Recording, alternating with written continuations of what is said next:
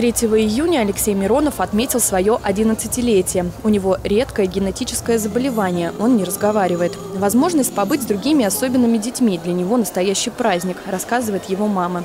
На фестивале «В будущее без границ» они во второй раз. В прошлом году праздник запомнился неожиданным выходом на сцену. Ему в прошлый раз очень понравился выход на сцену, поэтому не знаю, как в этот раз будет.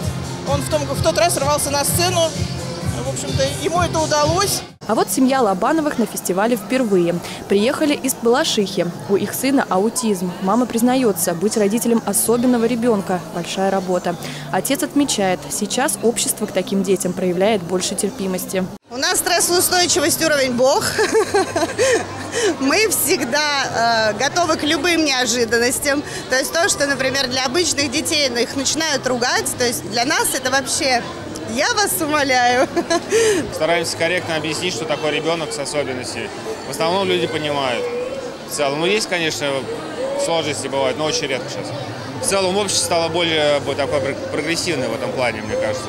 Узелка будет много-много-много счастья. Каллиграфия, тренировки письма на полотне с водной основой и плетение узелков для оберега. Это мастер-класс китайской культуры. Островок Востока в волейбольном центре воссоздали учителя иностранного языка из московской школы. Я даже убеждена, что китайский язык, он очень хорошо когнитивную нагрузку у детей с особенностями развивает и помогает им а, расслабить их напряженные да, мышцы, зачастую расслабить расслабить их какие-то мозговые процессы, направить мысли немножко в такое расслабление.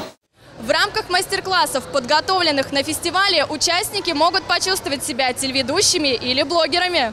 Фестиваль «В будущее без границ» проходит в Подмосковье в 14 раз. В прошлом году стал международным. Творческая группа «Тумар», что в переводе означает «талисман», приехала из Киргизии, подготовила традиционный танец. Ага, джалымби э, переводится «танец пламени». Э, в древние, древние кыргызы танцевали, вот, э, когда у них мероприятие было. Э, свадьбы, любые прекрасные мероприятия вот, сопровождались этим танцем. Развить интерес к творчеству, помочь самореализации детям и подросткам с ОВЗ – главные цели фестиваля. Он объединяет около 60 общественных организаций, насчитывает свыше 11 тысяч участников. Но, как отмечает организатор Инна Орлова, здесь важна сама атмосфера – любви, теплоты и взаимопонимания. Как у нас мама одна тоже сказала, ты здесь на своей планете.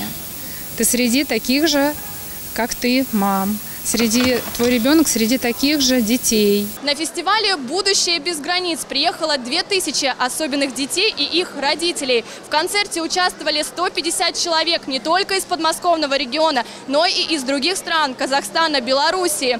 Но главный вывод, который должны сделать все – это «давайте жить дружно». Карина Еряшева, Станислав Трифонов, телекомпания «Одинцова».